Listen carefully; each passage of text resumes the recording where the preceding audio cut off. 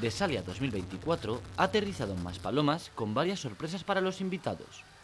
Una de ellas ha sido la actuación de DJ Feli, un artista emergente que gracias a un concurso que se realizó por redes sociales, en el que participaron más de 100 DJs, ha conseguido debutar en el festival que da comienzo a la época de festivales. Cuando tengo todas las oportunidades, todos son retos nuevos y es una locura poder estar aquí. Creo que esta marca tan grande como Ron Barceló, que me está por días, eh, me va a dar más visibilidad. Carmen de la Fuente, que comenzó su trayectoria en redes y pinchando en los eventos de Ron Barceló, ha acompañado a los presentes un año más y les ha hecho vibrar con su actuación, poniendo en el foco la importancia de la música para Desalia. A ver, yo creo que la palabra correcta es felicidad absoluta cuando estoy en el escenario. Y sobre todo en el de Desalia, porque tengo una relación como súper bonita con, con Ron Barceló. Y poder estar aquí un año más para mí es súper, súper guay, la verdad.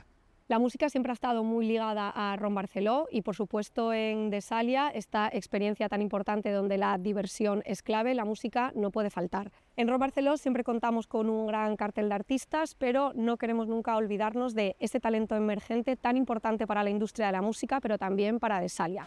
Por todo esto, los Barcelovers sienten el Vive Ahora, con el que consiguen disfrutar de conciertos únicos y demostrar así que Ron Barceló se convierte en cazatalentos en estas fechas en las que la música es la mejor aliada para los mejores momentos de ocio.